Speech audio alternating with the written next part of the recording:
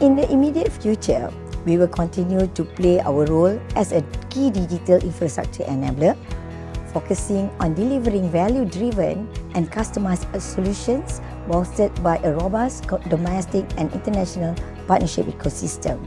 We aim to enhance the nation's digital ecosystem by upgrading our data center capabilities, catering to the growing demand for immersive content utilization by service providers. Collaborations with industry stakeholders, including our subsidiaries, will be pivotal for enabling digital platform offerings and realizing the digital Malaysia aspiration.